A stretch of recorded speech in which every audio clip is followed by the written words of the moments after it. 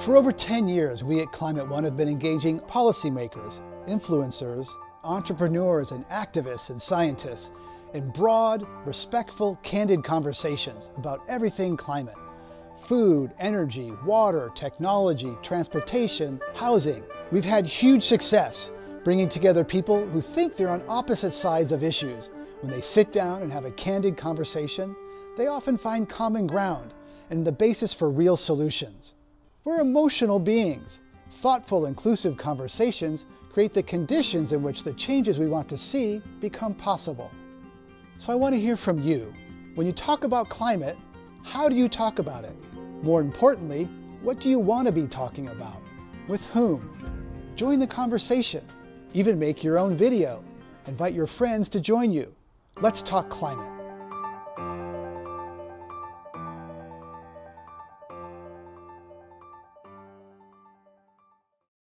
Thanks for joining us for this live stream discussion of flooding in America. I'm in the San Francisco Bay Area and would like to acknowledge the Ohlone and Miwok people who inhabited these lands for 10,000 years. This program is generously underwritten by the Water Foundation. I'd like to thank our friends there for making this show possible. For many people, too much or too little water is the way they will first personally and directly experience climate disruption. We'd love to hear from you today, so please share your questions in the comments section of the live stream, or you can tweet them at us using our handle at Climate One. We're reaching a growing audience via these live streams, and we're thrilled to include people around the world. To those who, of you who made a donation today, I want to thank you for supporting the awesome Climate One team that brings these programs to you.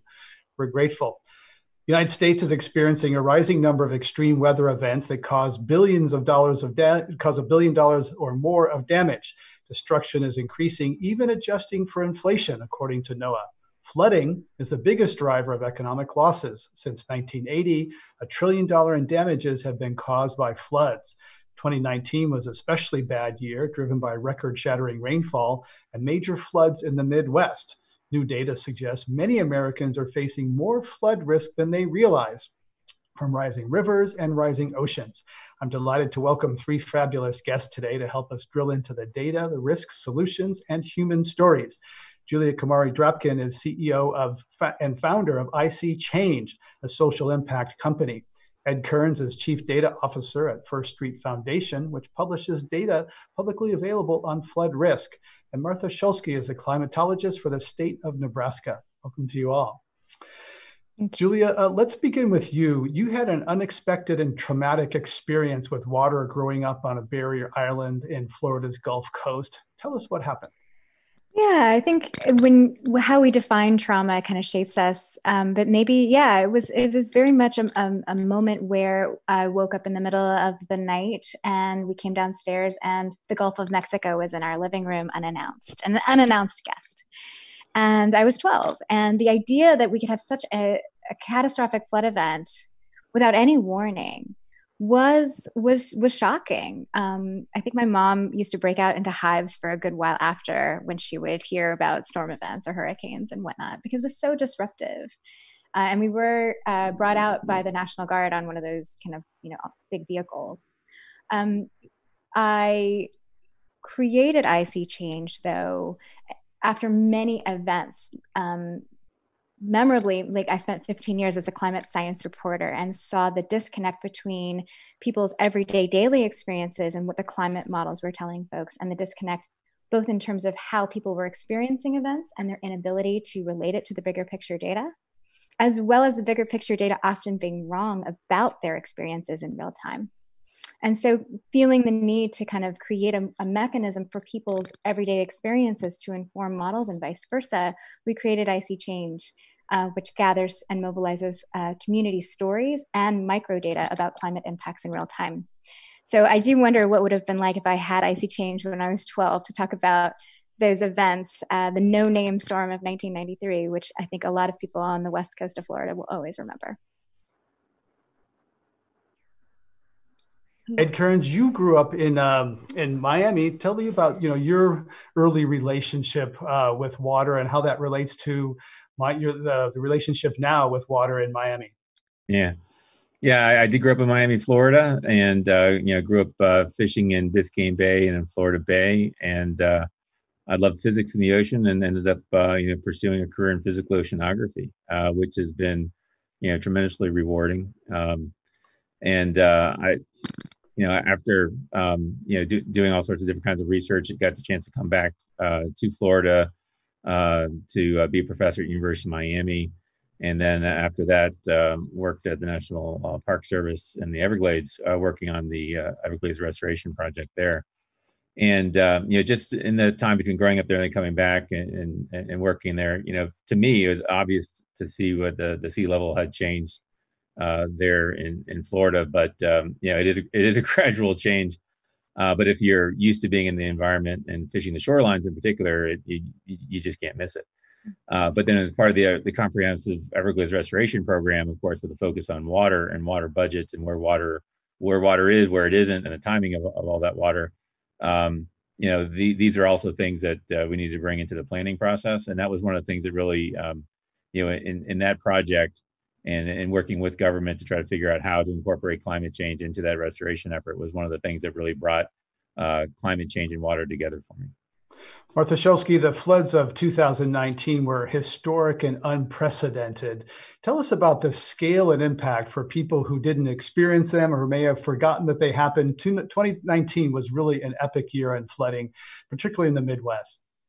Yeah, it sure was, Greg. It was a record-setting year, and and timing was everything with this particular event. And I'm from Nebraska originally, and have lived here at different times in my life. And we all know that we do have wild weather in the Midwest, and things like this do happen. But the scale of 2019 was just was just epic. And uh, it, what led to it, the antecedent conditions, the conditions in place when the storm did come along, that had a lot to do with the scale of the impact. We had a cold overall and wet winter. We had uh, one of the snowiest winters on rec- record in Lincoln and Omaha, frozen soils, um, saturated soils. 2019 was actually the wettest year on, on one of the wettest years on record for the upper Midwest, um, and snowpack sitting on the ground, uh, lots of ice in the rivers. So the conditions were ripe such that when we did get that strong storm system move across the country, which is not so uncommon to have a storm of that proportion, but the setup was there, and to have that rapid snow melt, um, we're just not able to handle the water mm-hmm. at one time that it did come, and so that led to the very large scale and for a long time period. Uh, there are some locations that the the river levels did not go down for mm. for over a year uh, length of time, and so so the the spatial and temporal scale of this was was quite large. The New York Times did a, a, special interactive feature where you can kind of scroll down the Mississippi, Missouri rivers and just see the normal uh, you know f- footprint of the rivers and what they swelled to. And just it just gives you a dramatic sense of of the scale and, and spread of all that water.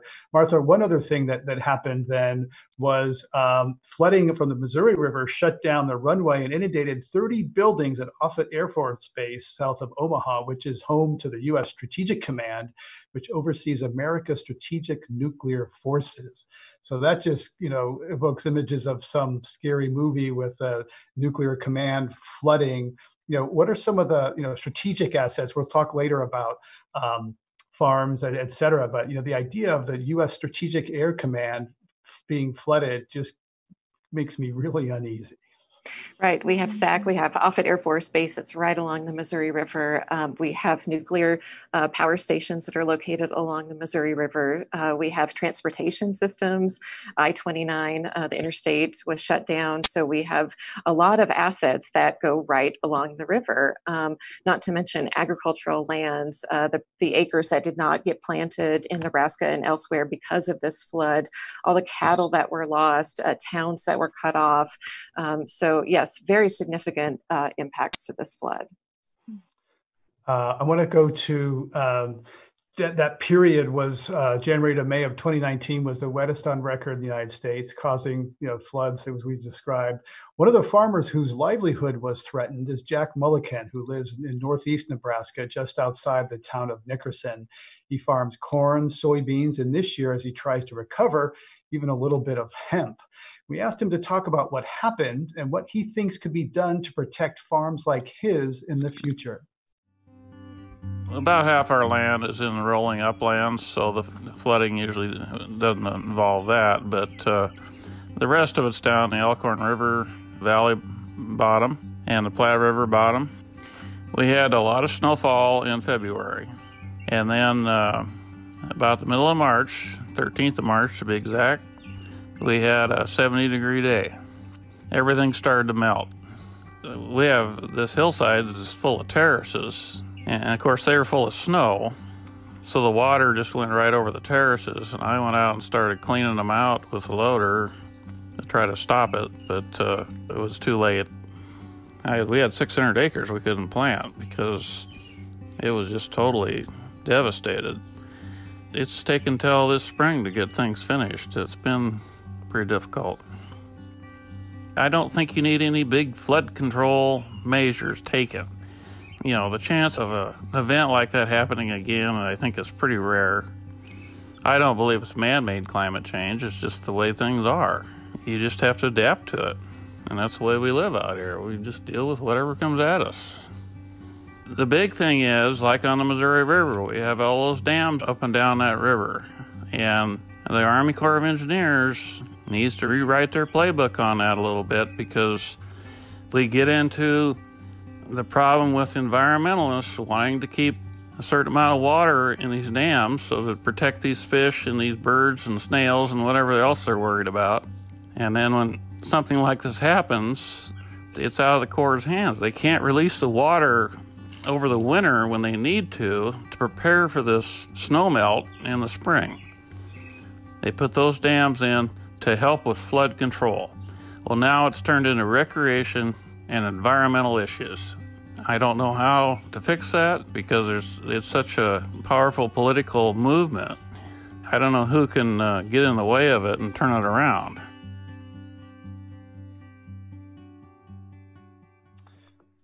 That was Jack Mulliken, a farmer who lives outside Nickerson, Nebraska. Julia Kumari Drapkin, um, easy to snicker or kind of, you know, someone like that. Um, how would you, if you ran into, had a chance to meet Jack Mulliken, what would you say to him?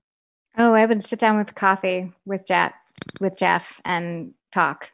Um, one of the things that I think when it comes to understanding flood risk or climate risk, what it requires is time iterative dialogue over time, and deep listening. Deep listening amongst all stakeholders. Farmers, fishermen, the people that we associate potentially in, in kind of the way we've parodied the climate conversation. It's we say, oh, well, they are climate deniers, they don't believe in science. A farmer or a fisherman knows more science than any climate modeler, modeler sitting in front of their computer who hasn't been outside in a long time can. Um, the idea that, that farmers and, and ranchers don't understand what's happening in the environment is completely and totally flawed. It's the lensing in which they're seeing and understanding those changes um, and the way it's been politicized. So, if there was an opportunity to sit down with him, as well as some of the members of the Army Corps who are doing flood control, we could have a really great conversation and understand the different um, the math and the calculations going into a lot of these decisions. And that's why we created ISeeChange, which is its own social media platform for communities to gather their stories and their data so that they can have their own evidence of how change is happening year to year. So it's much more legible. And we actually developed that from ranchers in Colorado who don't believe in climate change. Because when you ask a rancher or farmer how they make year to year decisions, they will go and bring out a notebook with all the detailed notes about weather and climate on their farm or ranch. And when you sync that to a much more community pool of knowledge, wherein potentially someone from the Army Corps who's talking about uh, water level controls can actually converse, you know, talk about what their concerns are for that particular year, then you have a deeper empathy and understanding and a more nuanced understanding of year to year risk. So, for example, in the Midwest, you know, we know that the 2019 flooding event actually was contributed to by conditions in the summer of 2018. Um, and ISeeChangers have been documenting that. Um, and then when you go into those flood, you know, year to year risks, that primes you for the next year's cycle. And so understanding that these years are starting to stack up and feed into each other, um, when you have a, a, shared record to do that, then it's easier to co- talk about the likelihood of a flood event like this impacting you on a year to year level. We even have ISeeChangers keeping detailed rain measurements storm to storm so that they can understand that a two year or five year, a 10 year or 50 year rain event can happen in the course of one summer. Um, and you, once you experience the data and understand it in the context of your own life, then you're much more likely to understand the differing stakeholders making very complicated decisions about infrastructure. Um, it's not just about the environmentalists; it's about access to water and controlling water levels for safety. It's it's dealing with aging infrastructure that hasn't been brought into the 21st century and isn't required to by federal law right now thankfully um, it gets complicated and there needs to be space and time to have that conversation and i think um, Martha would agree with me. You can have a conversation over coffee, but then you take that conversation to ISeeChange and you can have it for years. I want to remind all of us to uh, be careful. We might be picking up a little bit of keyboard or, or microphone sounds. So I just want to sure. be careful of tapping on keyboards and um, might might be the microphone as well. Martha Shulski, um, you go around and, and talk to farmers and Rotary uh, clubs uh, in in Oklahoma. So you know, how do you have the how, how do you have these hard conversations with people that are in a very different place, coming from perhaps experience, um, you know, sort of the the lived experience that they have that maybe not be quite the same as an academic scientist. Yeah, I think how you frame it and how you talk about it uh, makes a big difference. And the content doesn't necessarily have to be different, but how it is presented uh, does make a difference. And active listening is part of that. So Julia mentioned that. And if it's a one-on-one conversation, then that's that's where I would start. Is how do you feel about this? What changes have you seen? And when I hear comments like that, uh, often I, I'll get the person to talk, and they'll generally describe the historical trends that we've seen, which is getting wetter over time, getting more more extreme precipitation events. And so they understand what's going on. Um, so I, I, tend to do my research and do background and, and understand about the group that I'm talking to and frame the message such that they they do care about it. You know, what does that group care about? Let's connect those dots to climate change because climate touches everything it it's touches all of us and so making that connection is really important and having making sure that you have meaningful dialogue and not not throwing, uh, you know, I don't go into this like I would my class or I would giving a professional presentation. That's not the right way that, in my opinion, that you need to approach it. Uh, is you need to listen to the person, figure out what they care about and connect those dots. And in some cases, maybe you don't even talk about climate change. Um, to this person, maybe you talk about risk management and profitability and decreasing soil erosion and uh, making sure their farm ground is up out of the river bottom so it's less likely to be vulnerable to these to these large scale flooding events. And so there are in certain settings, there are angles that you can take that is not controversial, like your health health, like extreme weather events. And I, I try and remind people that weather events, that's how climate change is manifested. We don't we don't feel the global average temperature, right? We can't sense that. We I can't feel that that average temperatures in Nebraska have warmed about a degree and a half. But what I can feel is the number of 90 degree days are going up, or those dew point temperatures are going up, or we got a lot of heavy rainfall recently. So uh, so those are the ways that you make it tangible and local and relevant. Ed Kearns, how many Americans are facing the risks of floods driven by human caused climate change and don't realize it? Unfortunately, too many. Um, and so, uh, you know, uh, from the First Street Foundation uh, viewpoint, so our, our foundation was created to communicate this this climate change risk. Um, and uh, we picked flood uh, for the for the first uh, risk to consider because it's the most expensive, most pervasive across our country. And so one of our challenges was to uh, you know do a, a, current risk assessment for today to see you know uh, let, let everybody know what the risk is today and what it's going to be in the future. So uh, you know I kind of equate it to walking into the middle of a movie, right? And so climate change is the movie. So the first thing we have to try to um, convey to folks is what's going on, what's the plot, how, how did we get here? Uh, and then we're going to tell them about where this movie's going, where where where, where, the, where the plot's going to go, and how the movie's going to end. And so, uh, you know, taking a uh, taking a communication approach that's focused on the individual to try to make uh, all this complexity of climate change, climate models, and and uh, hydrodynamic models, hydraulic models, and and storm surge, and all these different kinds of of flooding uh, that um, you know are combined for a total flood risk to try to get that information down to a, a consumable uh, level for the individual is, is a challenge. And at First Street, what we try to do is, is boil that all that information down, all that risk assessment down into one number between one and 10, one being minimal risk, 10 being extreme risk, and to, to let the individual property owner, so our, our, our the First Street uh, Foundation flood model uh, has, uh, has created a flood risk assessment for every single one of the 142 million properties in the contiguous US today. And we're, we're targeting through floodfactor.com that individual that needs to understand at their property, at their home, what's their risk today and what's it going to be um, in 30 years. And boil that down, that cumulative risk and severity down to a single number. The idea to wake them up to this reality and then uh, and then urge them and point them to to resources where they can find out more about their local uh, community, their their local situation, their local flood risk, and and really start to understand it, and then take steps to mitigate that risk. So I uh, entered the address where I am right now. It's next to a creek north of San Francisco in Marin County.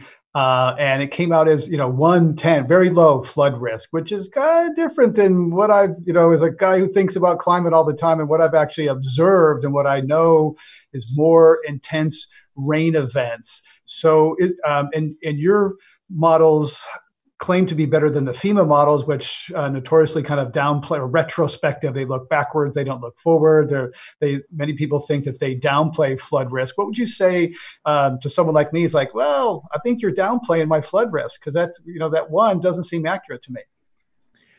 Well, yeah. So so First Street's uh, methodology is different from FEMA's. So, you know, I think it's a complementary approach. But like you said, FEMA's looking back, assessing the past, and they look mainly at river and flood uh, where First Street is taking uh, the heavy precipitation, what they call the pluvial component. So, uh, like you said, we, we know from physics that for every degree centigrade increase in air temperature, you can fit 7% more water vapor in, right, into the atmosphere. And that water is going to come out in a heavy rainfall event, right? And so uh, we're, we're, considering these, these combined comprehensive, um, you know, total impact on your flood uh, risk.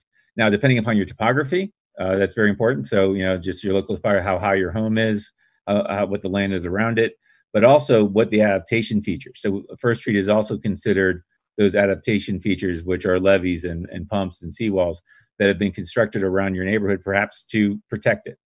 And uh, in, in, our model, we are assuming that each one of those adaptation features is working to its design capacity. Uh, so if if your neighborhood has been um, I'm not familiar with your address or your particular situation, but if your if your neighborhood has been protected uh, by one of these adaptation features for that kind of storm, then that would reduce your risk uh, perhaps more than you would expect. Julia Kumari Drapkin, what do you think about the First Street model? Do you think do you have questions or concerns about about its its uh, its accuracy or what's under the hood?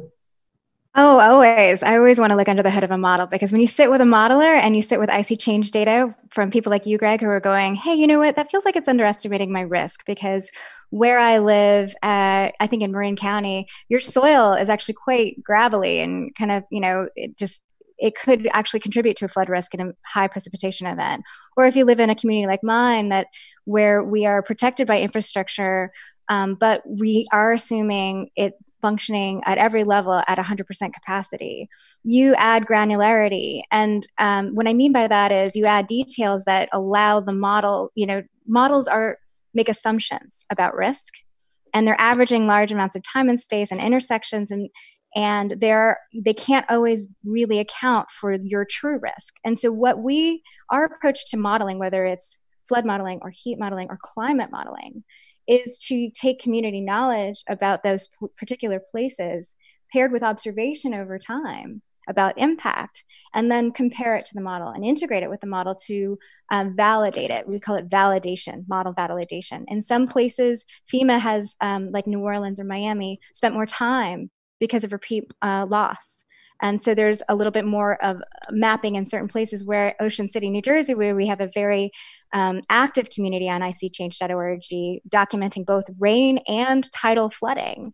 They haven't had good mapping in a long, long time, and First Street Foundation um, is provided added service. So I think what we are looking for in the age of models or AIs or here's flood risk on a phone is to interpret data as a conversation where community members have very much a role to play in annotating that data in making it more correct. In in fact in creating incentive structures for communities to invest in adaptation and infrastructure improvements. Because you know when we're using a, an ai or a model or an algorithm to tell us about flood risk and that's fixed and that becomes like fixed knowledge that is immutable then there's no incentive for the city of miami or miami beach to invest in the infrastructure and get the value that they're looking to achieve with it let alone a homeowner so um, we added that kind of add that that value add that context the annotation the the validation of a flood model. We also add impacts that you can't see from a flood model when it comes to there's pollution in my yard and my kids can't play from all this flooding or i can't get to work or i can't the bus stops running. Um, and then we also create room again for people like jeff uh, in nebraska to add his detailed knowledge. Because one of the things about all these folks who are being impacted particularly in the midwest down south in, in the Missis- in, in, the mississippi delta and in the gulf of mexico is that there are so there's so much knowledge about how an environment behaves that if we create a system in which a flood modeler fema first street foundation the army corps of engineers can actually generate knowledge through dialogue with community members and they won't feel like as if they are prisoners to to math math that is often wrong if you're just joining us, we're talking about flooding in America and Climate One. I'm Greg Dalton. My guests are Julia Kumari Drapkin, CEO and founder of ISeeChange, Ed Kearns, Chief Data Officer with the First Street Foundation, which is mapping flood risk around the country, and Martha Shulski, Director of the Nebraska State Climate Office and State Climatologist. Martha, what I'm hearing here is a bit of a sort of top-down, bottom-up discussion about, you know, climate models are, just, are built on supercomputers at elite institutions, very abstract. I've been doing uh, climate change conversations for 12 years. I don't think I've ever seen a model I really, honestly, really understand what the heck they are. Um, and we're hearing Julia describe this sort of much more, you know, grassroots, crowdsourcing, uh, bottom-up approach to modeling. You know is you know i'd like to get your thoughts on on those two worlds of approaching something so massive and complex as flood risk and climate risk yeah, well, they're both important. You can't have one without the other. You have to have the science base and uh, that theoretical knowledge uh, and skill to understand climate dynamics and physics and chemistry, and it's very complex.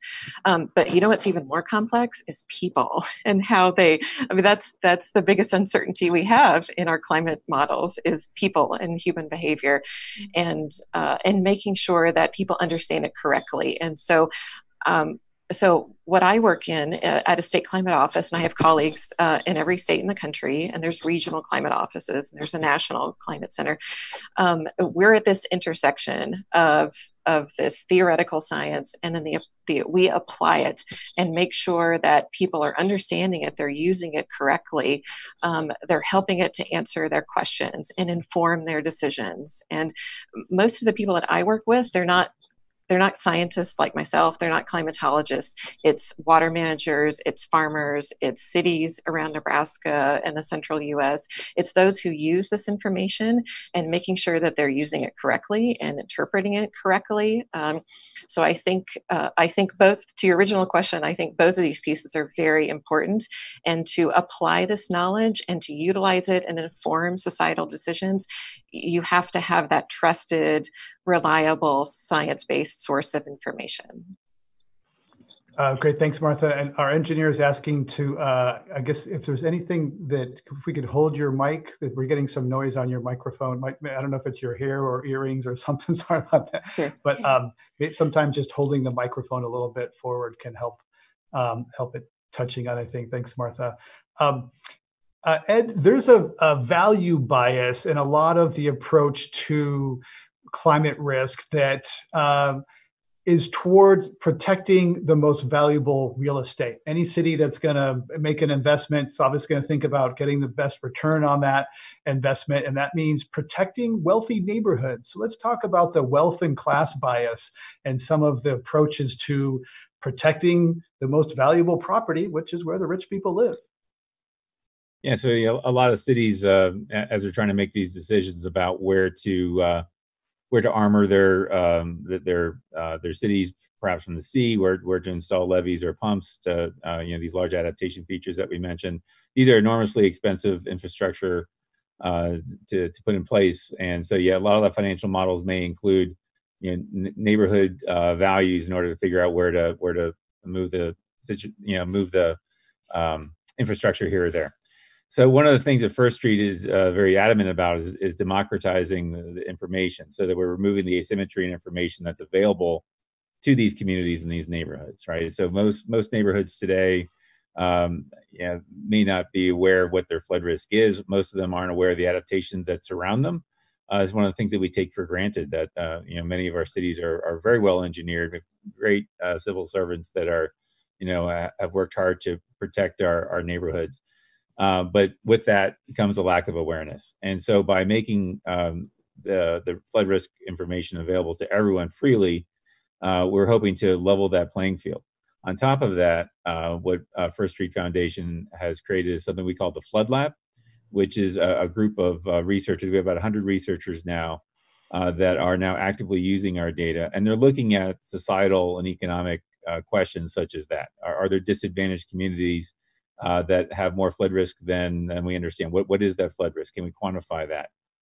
can we start to, um, through the power of data, um, you know communicate what uh, the actual risk is for these different situations and arm the decision makers with the right information they need to make the right decisions julia you live at sea level near water in a swampy area of new orleans you know how do you how do you feel about that and you know new orleans we spent what tens of billions of dollars recently after hurricane katrina to armor the town um, is that holding up we're still here, right?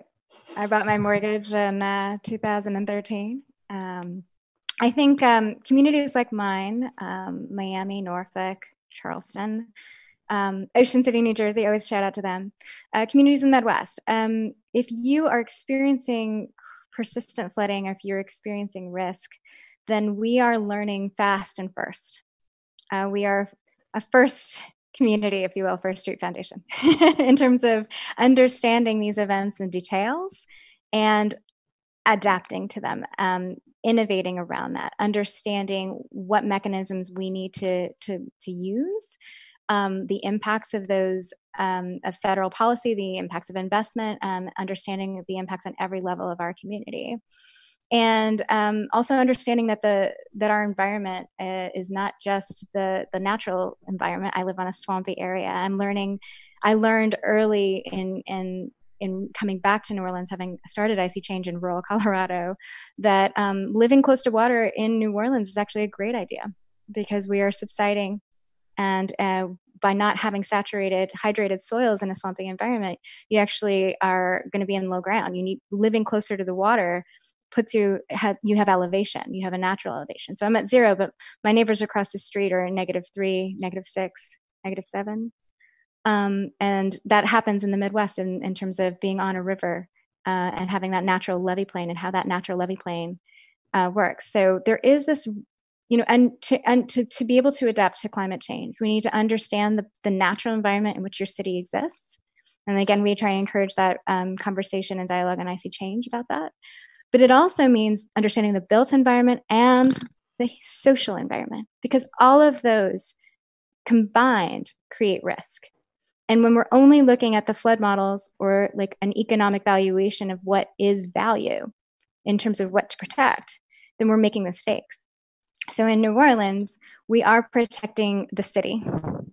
But um, when um, when we don't invest or prioritize infrastructure to protect communities of color, then we are actually um, not valuing their, the cultural and social fabric of this city. A city that um, before COVID had 13 million visitors to come and eat our food and enjoy our music and enjoy our culture. And by pushing those folks out, then we are un- we are pretty much doing economic damage to our city over time. Same with the, the folks who are fishing uh, in the Louisiana coast, who for the last three years, because of flooding and rain in the Midwest, we've had our flood infrastructure, the Bonnet Carré Spillway, open for the last three years. Historic. This thing has never been open in this, like it was open twice or three times in the last century, but it's been open three times in the last three years.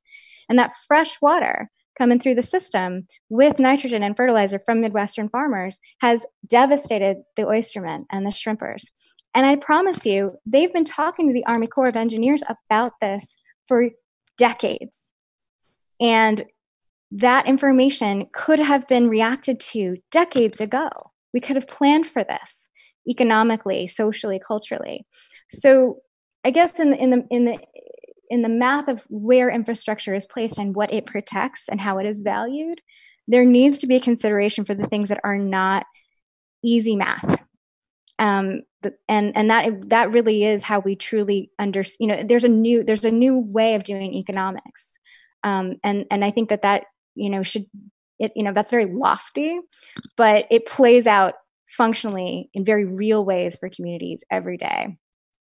Shulski, speaking of uh, infrastructure, there's a lot of dams in the Midwest that, uh, you know, a lot of people live within 20 miles of a flood control dam. Many of those dams are nearing the end of their useful life, just as the states are expected to experience more intense rain events. So, are those dams safe? And what's how's that going to play out?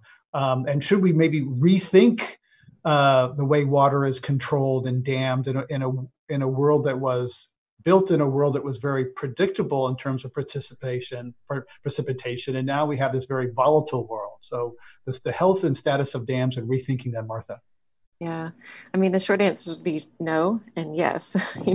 um, and you know, t- taking a look at, at, dams as well as as other infrastructure in the cities and how our cities are built, are they are they able to sustain um, these high intensity precipitation events? You know, if if if it's going to fail for current climate events, it's absolutely going to fail for future climate events. I mean, we can only expect it to get wetter, more extreme precipitation events. And so, certainly, our, our planning efforts, if they're not incorporating these climate projections, if you're not planning for the climate of 2040 or 2060, then things there's going to be failure there's going to be impacts uh, in a very extreme way perhaps so um, I, have worked on a few projects, uh, not dams specifically, but I've worked with uh, cities in across uh, four states in the Midwest on how best to incorporate climate change uh, into the planning efforts, and and learned a lot about that, and and developed a tool um, in a participatory way with these mm. cities to make something that is useful to them and that they will take to their city council or to the, their mm. mayor, or the this information kind of distilling these climate projections projections in a way that they can put it into actual planning efforts. Not something that, as climatologists, we think is important, but something that, from the planning perspective, that that is useful and usable. So, a- absolutely, it's critically important. Greg, can I add to that? Um, sure. Because I think one thing I really um, I think is important for folks to know about engineering and infrastructure is this concept of de- the death of stationarity. It's a principle for engineering based on the idea that you know you design an infrastructure intervention for a specific kind of extreme event. And that the idea that that no longer holds in the era of climate change is really really questioning how we do infrastructure design. And and i really want to underscore those little events being really crucial for everyday people to pay attention to. And we do that on iseechange.org, where we ask people to actually document persistent puddles even if it's just a clogged storm catch basin or a broken pipe, because those are often indicators of lows that are going to be consistent problems over time. Those end up being the places that flood first and worst during major events. And even in listening to some of the interviews coming out of the Michigan dam failure, listening to folks talk about that, they're like, yeah, we knew this was the third major dam, that broke. you know, this for many people in some of these places, they were not surprised by this catastrophic failure of our infrastructure. And it is overdue. It is, I think, what is it? Uh, seven out of ten is going uh, dams are going to be not are are, are going to be getting a failing grade. Um, we need to be investing in infrastructure, but we need to be investing in, in infrastructure with climate change in mind. Um, and that's not happening at a federal level. That is that is one thing that we can do different. Ed Kearns, when you hear uh, people, someone say taking photos of, of little puddles as a data scientist, do you did your mind say that's not scientific? That's that's just yeah. How do you respond as, as a data scientist when you hear someone taking taking pictures of puddles on their street?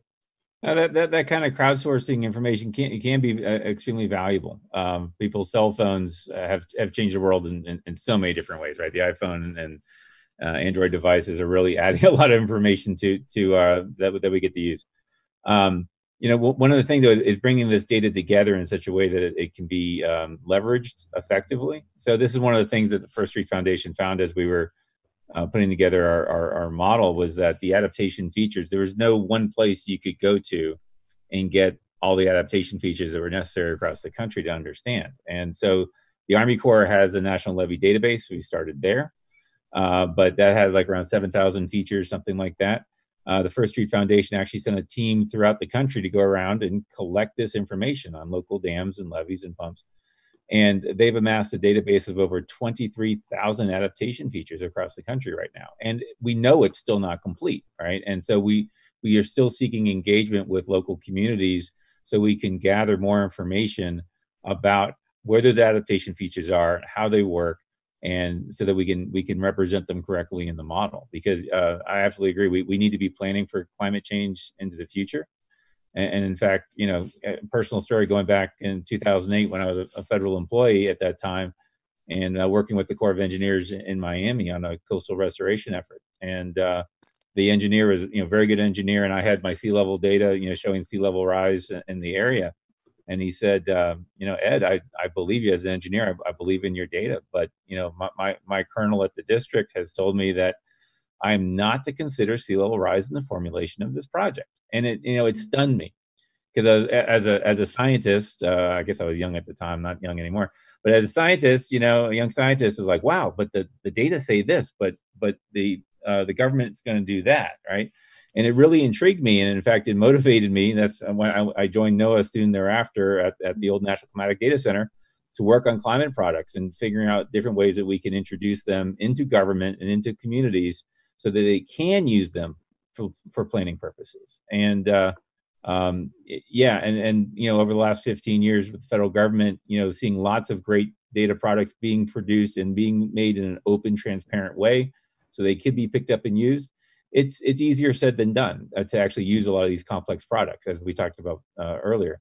Uh, whether it's a climate model or an observation, you have to understand these things pretty well in order to use them. And I think as a community, it's going to take a community to bring these data sets together and these models together in the right way to actually inform decision making uh, so that we can have the kind of impacts and be prepared for the climate change that we know is coming. We're going to go to our lightning round for Martha Shulski, Ed Kearns, and Julia Kumari Drapkin. Uh, beginning with Julia, uh, what's the first thing that comes to mind, unfiltered, uh, with reckless abandon, uh, when I mention current U.S. Senator James Inhofe? snowball. Snowball. Yeah, he famously took a snowball into the U.S. Senate chamber to say that global warming is not happening. Ed Kearns, what's the first thing that comes to mind? First word or phrase? We're going to keep this word or phrase. Uh, Ed Kearns, what's the first thing that comes to mind when you hear Florida Governor Rick DeSantis? Data. Data. that the first thing that comes to mind for every question. um, eh, uh, Julia, uh, what is the first thing that comes to mind when you hear donut economics? Awesome. Everybody should eat them. The donuts, the donut economics. Uh, it. Check it out. Ed, Ed Kearns, what's the first thing that comes to mind when you hear climate gentrification? Oh, uh, I guess blue lining. Uh, Martha Shulski, what's the first thing that comes to mind when you hear? That's funny, not funny. when you, uh, Martha Shulski, what's the first thing that comes to mind when you hear the term flyover country? Teachable moment. Mm, good one. Yeah, not coastal snobs. Okay. Um, the uh, also for Martha, what's the first thing that comes to mind when you hear algal blooms in lakes? Green. I'm, that's not a great answer. That's the first thing that came to mind. The color. Yeah. The water looks like yeah, it looks like jello on ISeeChange. We see the photos. It's like oof. that is an aside. In, in 2011, uh, James Inhofe jumped into Nebraska's Grand Lake and became very ill. He told the Tulsa newspaper that one of his granddaughters wouldn't swim in the green stuff on the surface of the lake, and Inhofe suggested that the headline of the story should be "The Environment Strikes Back." Um, these are true or false, uh, beginning with Julia. True or false? If you came into money, you would seriously consider buying a home right now in a high risk flood zone in your hometown on the Gulf Coast. That's not fair. You know, um, I would invest a lot of money in a high risk flood zone in a Gulf Coast town to have a conversation about how to adapt. So that's not true or false. That's just truth. Yeah. Okay. That's how I would do with it. Um, Ed Kearns true or false? You would buy a home on the coast in your hometown of Miami. False.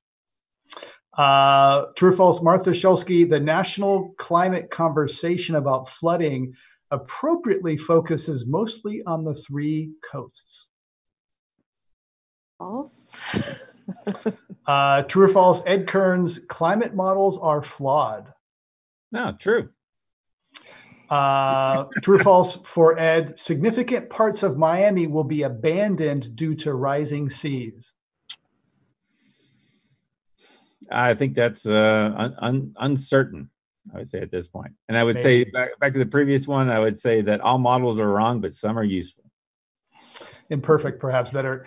Uh, Julia Kumari Drapkin, true or false? The insurance industry will see rising profits from flooding and other extreme weather events driven by climate change. True. Uh, Martha Shulski, true or false? The Army Corps of Engineers tries to compel water in certain directions, but ultimately water decides its own path. Oof, a little bit of both. yeah, humans and nat- humans trying to no, shape nature.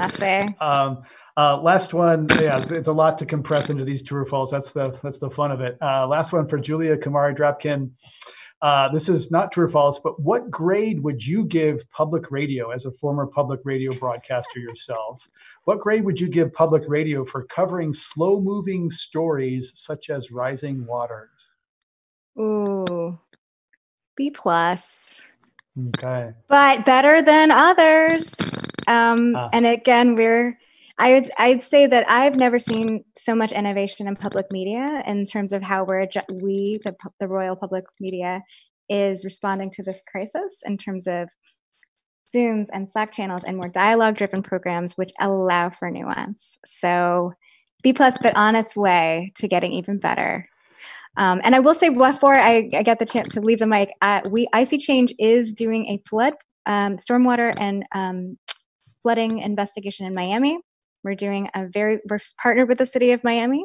So stay tuned on some of those questions on climate gentrification and flooding. And uh, the city of Miami has incredibly passionate cities, and I have a lot of faith in, in, their, in them. And on Miami, uh, you know, uh, Ed, the U.S. Army Corps of Engineers recently, just in June of 2020, uh, unveiled a plan to protect Miami-Dade County from hurricane storm surges over the next 50 years with floodgates across rivers, mile-long flood wall on its upscale waterfront, cost nearly $5 billion.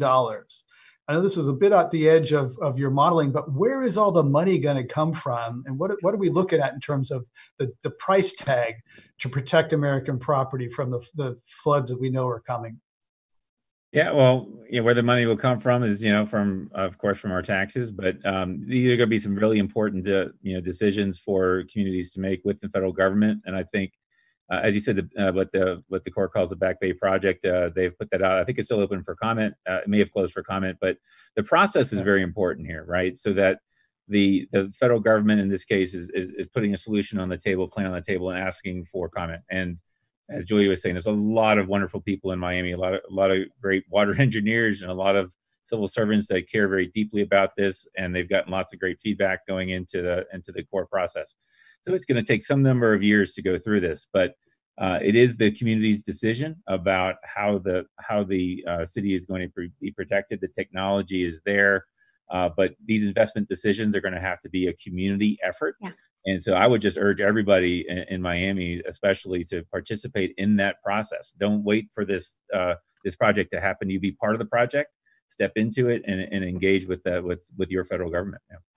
But the reality is, we're not going to be able to, you know, I think in, in, embedded in that is, uh, you know, expecting money from Uncle Sam, which is often the case. Um, but we're just not going to be able to afford to uh, protect and defend every piece of property from either coastal, you know, ocean sea level rise or from uh, from from flooding rivers. So, you know, how are we going to decide um, managed retreat implicitly means that some people are not going to be protected. People are going to have to be bought out, move.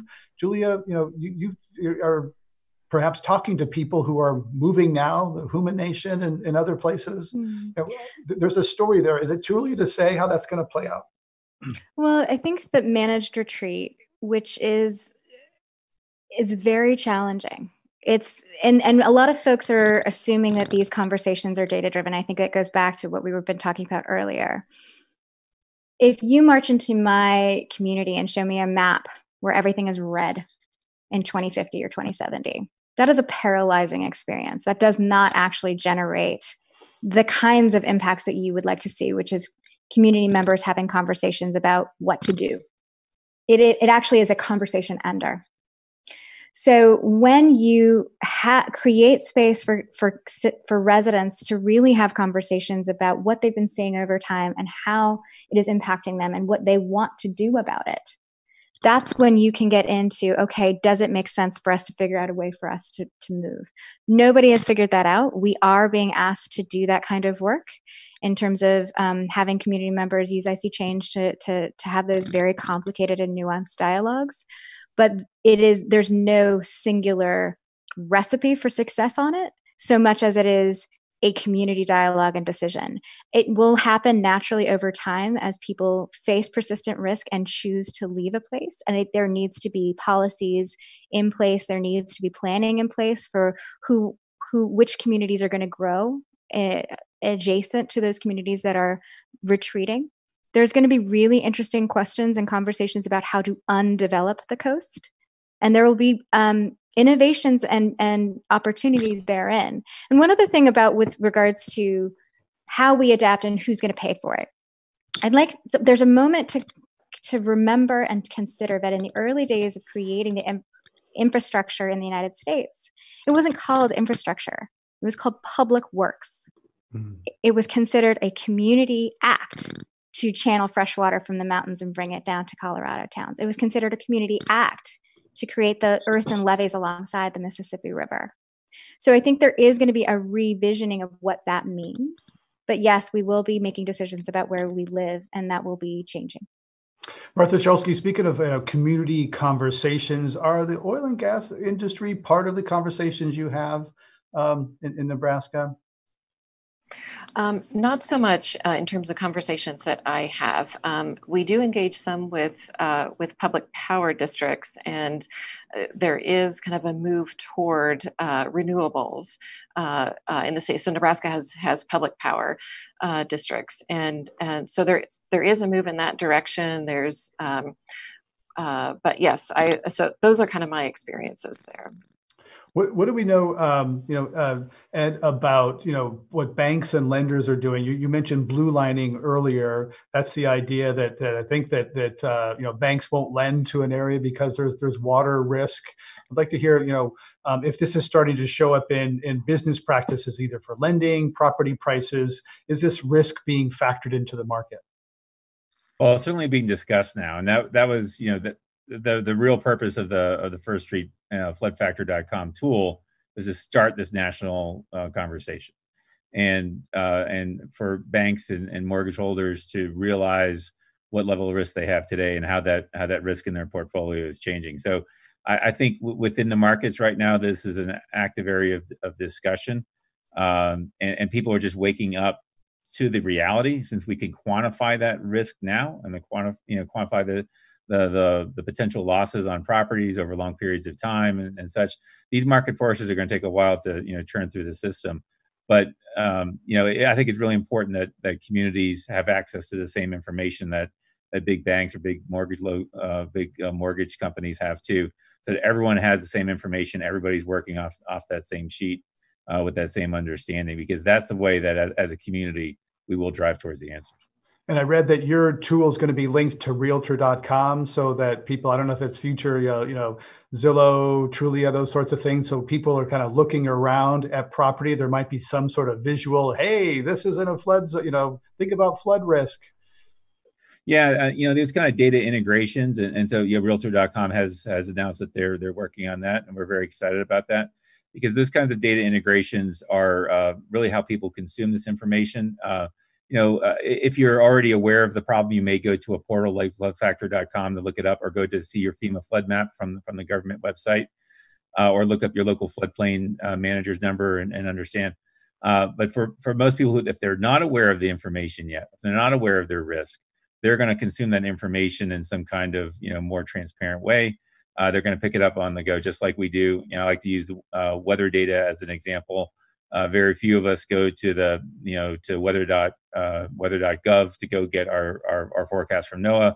Majority of people uh, gather that information through data integrations, through uh, other apps, through their local TV station, maybe even on the edge of the browser. If someone's watching this online right now, maybe there's a little weather icon that shows what what the weather is outside right now or what it's going to be tomorrow.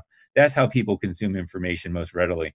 So yes, we're, we're at First we're very excited about these kinds of uh, data integrations because that information can be become um, uh, you know um, in front of people's eyes uh, more quickly, and they become aware of the situation uh, of what their flood risk is today much more easily.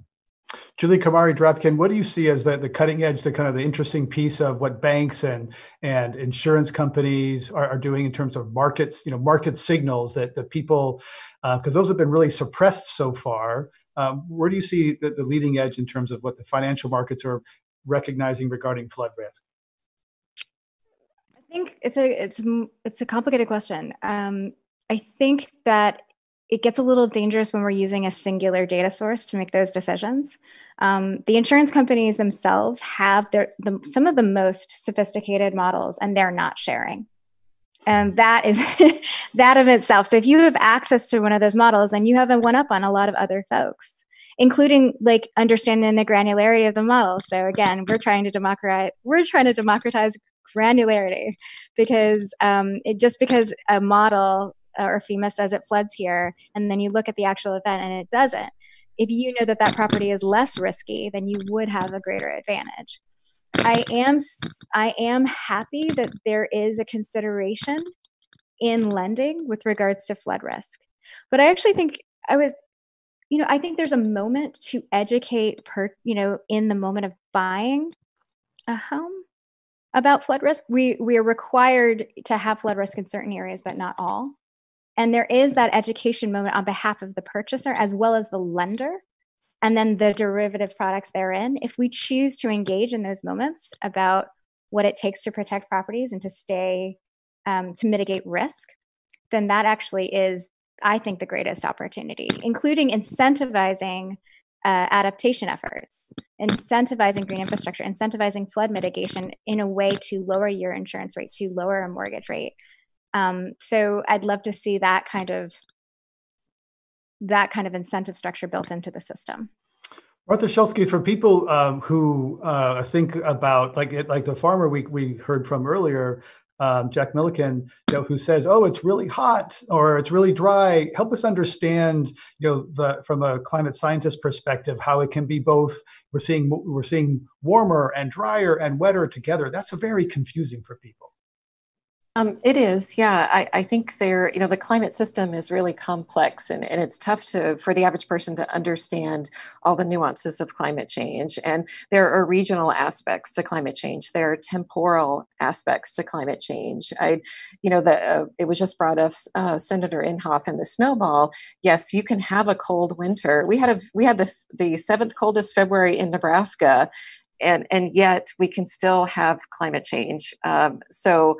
Um, uh, so I, I, think that's that's important to try and educate people about whether the scale of weather versus the scale of climate and that things change at different rates there are parts of the world that that are not warming nearly as much as as others you know, isolated parts.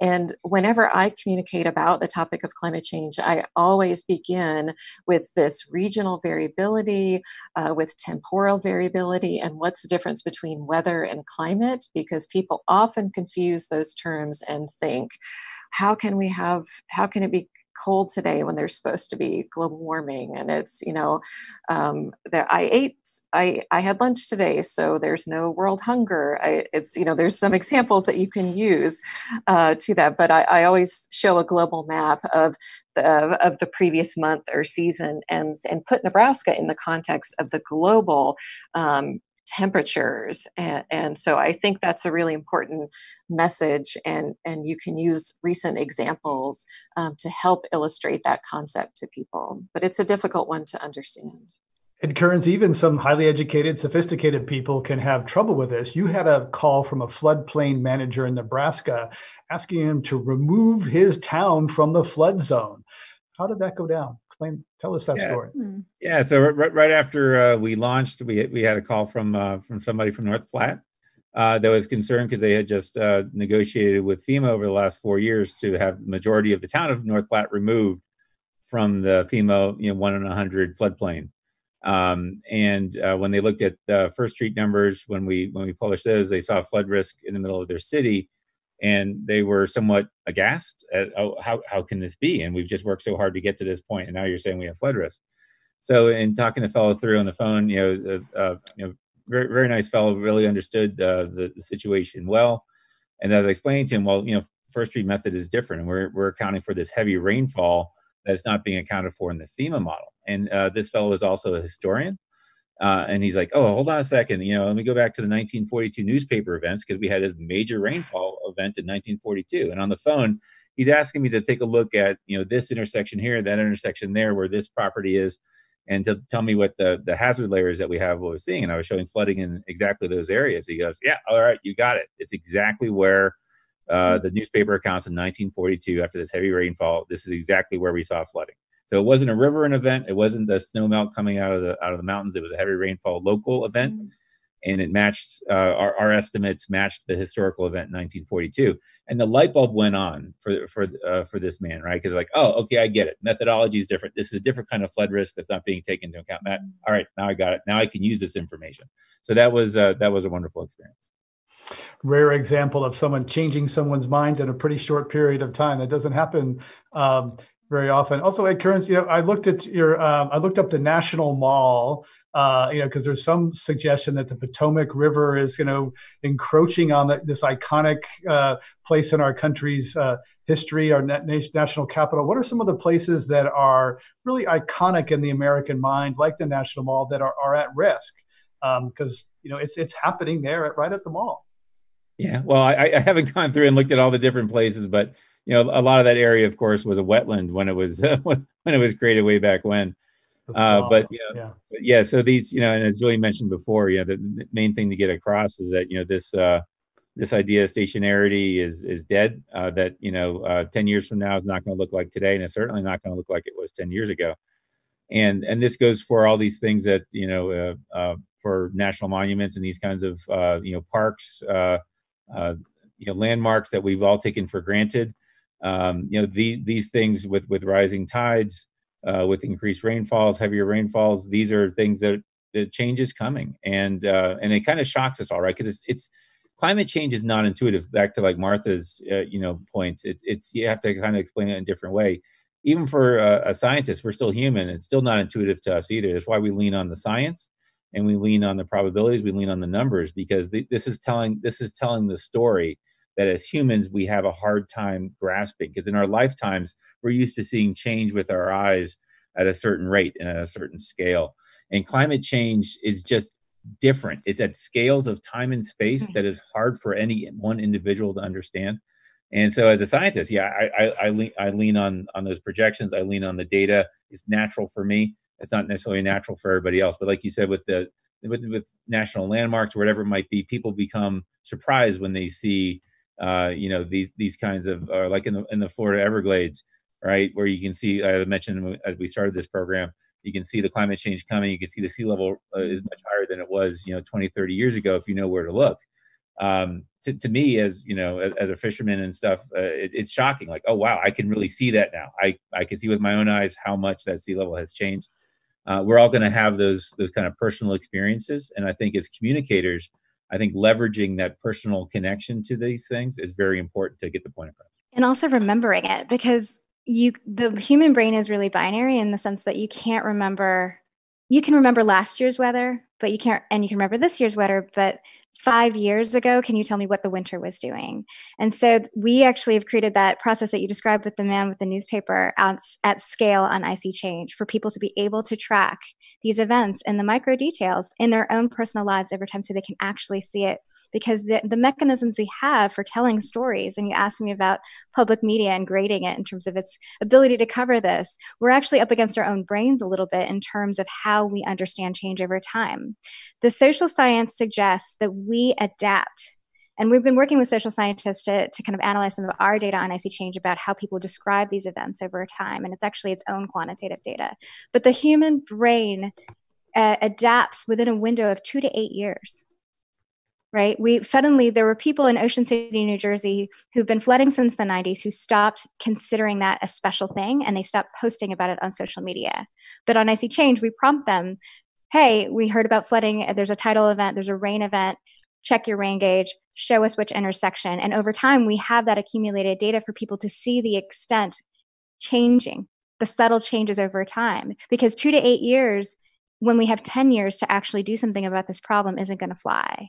Our greatest asset to adapt is also our greatest vulnerability that's where it gets really dark and people say that well humans will just accept a world without glaciers. They'll just we'll just kind of shrug and say oh we'll just you know accept this mm-hmm. world and we'll adapt and and and people will, will be born and and never know that there you know there was some of the, the things that we've lost uh, glaciers, biodiversity, tropical rainforest. Mm-hmm. They'll they'll be sort of like buffalo roaming the American plains, something that none of us ever really experienced. We hear about as history in the past, and we accept it as the way it is. That's where it can you can get pretty um, yeah fatalistic about this. I want to ask Martha about you know. Uh, your state doesn't have a state climate action plan yet. Given all that we're talking about, the overwhelming data, uh, tell us about you know the prospect for a state climate action plan um, in Nebraska.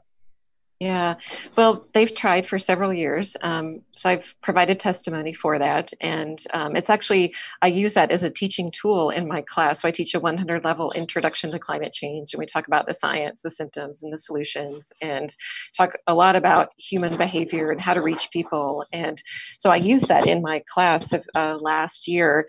Um, there was a bill going through, and I testified, and, and we talked about how do you develop a testimony. And one of my students showed up. He was a freshman first generation college students from Chicago and came up there without a script and spoke. And mm. so, um, so it's a, a neat story uh, uh, out of that semester of teaching. But um, yeah, so it, it's it's tried and failed. Um, it just tried with this within this past week. The legislature uh, came back um, after the COVID break, and and uh, it failed miserably, unfortunately.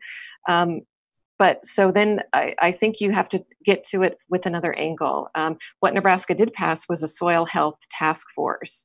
Um, healthy soils can go a long way toward climate change mitigation in an agricultural place like Nebraska. It won't get you everywhere you need to go, but at least it's a start. And um, we, I've had a lot of conversations with uh, Nebraska lawmakers at the state and federal level with regard to the flood and impacts to that. And we're getting wetter and what's going on with that and uh, tackling it from the weather angle. And maybe you don't call it a climate action plan. Does it, mm-hmm. you know, titles can be everything. And if you're going to turn mm-hmm. people off from the beginning, then don't even use it. And that's, I understand people feel differently about that. But when you're trying to move the needle forward and um, there there are key words that people can't get past come around it from another angle and I, you know, in talking to uh, a range of, of people around Nebraska, I, I think um, a lot of folks in the agricultural community feel blame for you know mm. you're the reason for this problem is you know people are pointing the finger at them and mm-hmm. that's that's not really not a way to get people yeah. to change their behavior if they're being blamed for it so you know bring them to the to the table. They, they don't want to be on the menu. They want to be at the table and part of the solution. And that's when I start to see change in people's mindset and change in the way people think about it is that let's look for innovative solutions that will benefit everybody um, and my profitability, my uh, conservation practices and keeping the land for generations to come and, and keeping it viable. Mm-hmm. So um, so that was kind of a long-winded answer, but I, I think I think getting around that those words that are problematic for some people. As we wrap up, I want to ask you about sort of water risk that you face in your own life and and how you're um, how you are managing it. I'm putting in a, a gray water system and a cistern, which is kind of like folks what my grandparents had uh, in upstate New York. Uh, Ed Kearns, what what is you know what's some of the water risk that you have in your life and and how are you managing it? Well, I think I removed most of the water risk 12 years ago when I moved from Miami, Florida to Asheville, North Carolina. So I went from about four feet sea level uh, above sea level to 2,500 feet above sea level on the side of a mountain. Uh, so um, in, in, in Asheville, you know, this, not that we don't have flooding here, we do have flooding in the river valleys. I just, uh, yeah, I'm just uh, literally up on the on the hill above that. So um, yeah, so in my case, I've uh, I've mitigated that uh, the the risk from storm surge in particular by by moving inland quite a bit. a lot of people look at flood risk, and if they think they live at elevation, they're insulated from that risk. And then until someone tells them, well, when they flush their toilet, it goes down to sea level, uh, a, a, water treatment plant, or their their food comes from some some risk area. So yeah, so there are risks even if you associate uh, live on a hills. Julia Kumari Drapkin, what how are your water risk? And you've told us a little bit about how you're living living on the edge in New Orleans. Well, I wouldn't say living on the edge. I think I'm informed and I'm working with my neighbors to be informed. One of our most successful flooding pilots is two neighborhoods over in, in the kind of a wider neighborhood called the Gentilly Resilience District, where the city is experimenting with green infrastructure at scale in a neighborhood to store stormwater. And we've been, we mobilize residents to take pictures of flooding and also to track each storm with a rain gauge. And actually, everyone is starting to understand what kinds of rain rates create dangerous conditions. These stormwater projects, one of them is a 10 year, going to manage a 10 year flood, and the other one's going to manage a five year flood. And thanks to these residents on ISeeChange, we've increased the storage capacity of some of those infrastructure projects uh, in design. They've changed the design of multi million dollar HUD funded infrastructure projects using their data. And that is going to have a direct benefit. Is it going to eliminate the risk? No. In a city like New Orleans, we will flood and we are learning to live with that water. That means that on certain days, when I hear a rain rate or I look at a rain rate or I understand the conditions, I know not to drive my car. Um, I am lucky in the city in terms of being at zero. Uh, we this house only took water during Katrina, which was not a natural disaster; it was a man-made disaster. Um, but I feel that the more we understand how our particular neighborhood, block by block, is experiencing a rain event, we will understand what it can and cannot do. I will understand what my rain garden can handle. I will understand when the punks are overwhelmed, and they will be, even if they're functioning 100% and all of our catch basins and storm drains are clean. And so I can manage risk that way. And then there's other things that we do. Um, you know, we uh, we have rain barrels. We that's more for drought, frankly, but it's still a help. We're energy efficient which is one of the greatest ways you can combat uh, climate change cheaply and efficiently and effectively. Um, and there's so many ways that you as an individual can act. There's so many ways that you in your neighborhood you can act, and there's so many ways you can do at a citywide level. We have a, a citywide rain gauge program. We have a citywide heat sensing program. Uh, and then now Miami, we're working in Miami, we're working in Boston, working across the country. So every community has a different way of learning lessons on how to adapt and we should share them because not every solution works for my community as it works for yours. But if we're learning together, we're figuring it out. We have about a minute left. Martha Shulski, how are you uh, managing your risky relationship with water? Yeah, I guess I'll put a personal spin on it. And uh, as a mother, I, you know, I find that one of the most important things that we can do is teach our children how to best manage their resources and conserve their resources, and have an appreciation for the natural world around them, and and and develop and foster their curiosity. And so we do lots of nature exploring and boot adventuring and, and trying to understand the world around us. If you're just joining us, we're talking about flooding in America's heartland. I'm Greg Dalton. My guests are Julia Kumari Drapkin, CEO and founder of ISeeChange, a social impact company lifting up stories about climate change. Ed Kearns, Chief Data Officer at First Street Foundation, which makes flood risk information available to the public, and Martha Shulski, Director of the Nebraska State Climate Office. I'd like to give a shout out to the Climate One team making this happen from their homes using new tools. Uh, and on Climate One today, we've been talking about flooding in America's heartland and beyond. I'd like to thank you for your insights. This uh, to all three of you for your sharing your stories with water, new relationship with water. This program is generously underwritten by the Water Foundation. Podcasts of this and other Climate One shows are available wherever you get your pods. Please help us get more people talking about climate by telling a friend, sharing your story, and talking about our podcast. Thanks for joining us online. We'll see you next time, everybody. Thank you so much. Thank you. Thank you.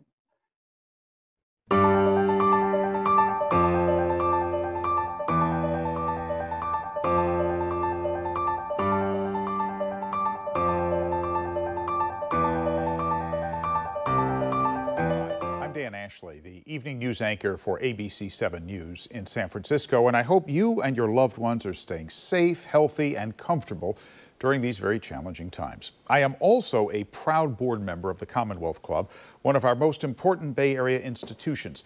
The club has been hosting wonderful events with exciting speakers and topics in the Bay Area for over a century.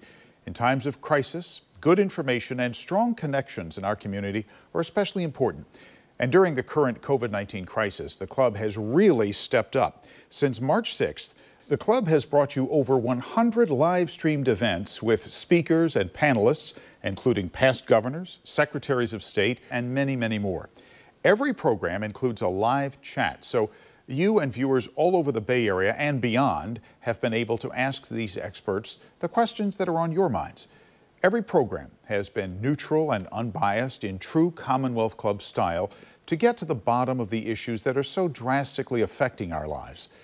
The club has done all this public service despite being profoundly affected by the crisis. The inability to hold events for the past two months has forced the club to cut its budget and staffing by 50 percent.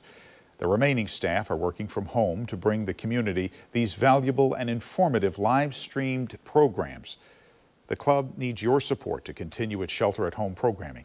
Please make a tax deductible donation to the club now by texting the word donate to 329 4231. That is, donate to 329 4231 or visit the Commonwealth Club website, commonwealthclub.org.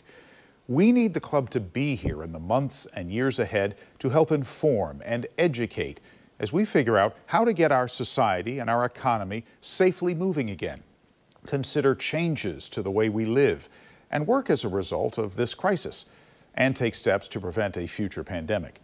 Once again, please support the Commonwealth Club now by texting the word donate to 329 4231. That is donate to 329 4231 or visit the website commonwealthclub.org. I want to personally thank you for supporting one of our community's truly great organizations. I'll see you on ABC 7 News and at the Commonwealth Club. Stay safe.